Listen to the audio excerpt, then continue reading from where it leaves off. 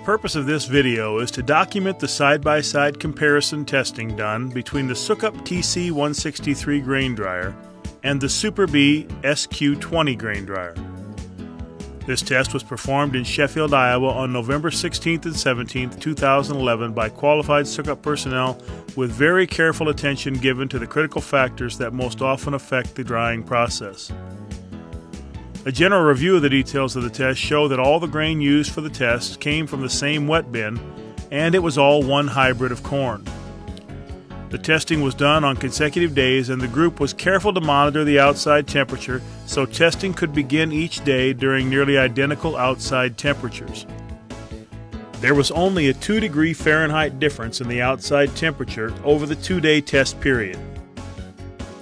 On day one of the testing, the Sukup TC163 grain dryer was first attached to this larger LP tank and was then run through a stabilization period that lasted approximately one hour. The grain used during the stabilization period was transferred to a dry holding bin. This same stabilization period was repeated on day two when the Super B SQ20 was tested. Once the stabilization period was complete, we switched from the large LP tank to a smaller LP tank secured to a pallet. These smaller tanks were weighed before each test began and after each test was completed. This gave us a very accurate accounting of exactly how much fuel was used to dry the grain. Each dryer was tested for a period of two consecutive hours after the stabilization period had been completed. During the actual test period, both dryers were run in manual mode. The wet incoming grain and the dry outgoing grain was sampled every 5 minutes and tested using the same moisture tester and the same operator for the entire test period. In order to keep track of the amount of grain dried during the test period, the finished grain was transferred to a semi, and when the truck was full, the grain was hauled to the elevator and weighed on their scale. We ran the test on both dryers using a drying temperature of 200 degrees Fahrenheit. The advertised drying capacity of both dryers is based on a drying temperature of 220 degrees Fahrenheit, but we felt that it was more realistic to run a slightly lower temp to better match what farmers are actually doing in the field.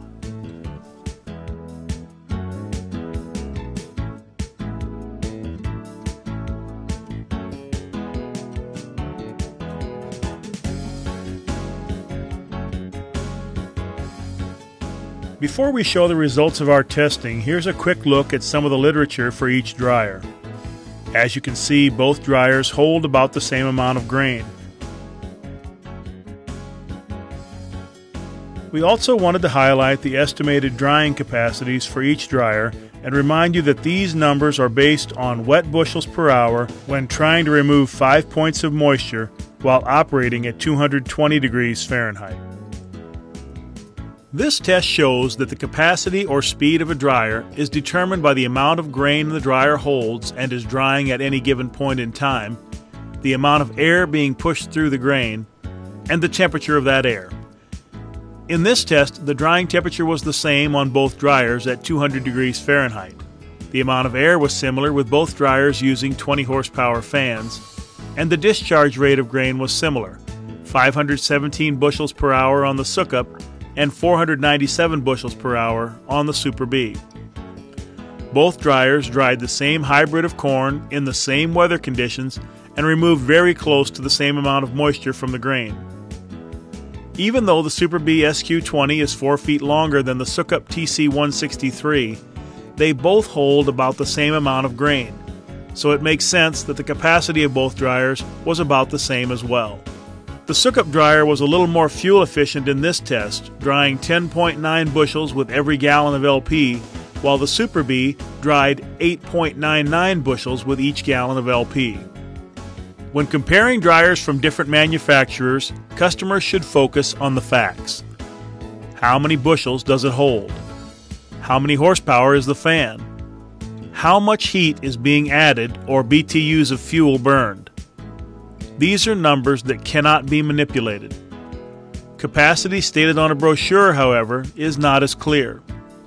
There is no standard across the industry on exactly how these capacities are determined. Heat, time, and air. The principles of drying grain have not changed.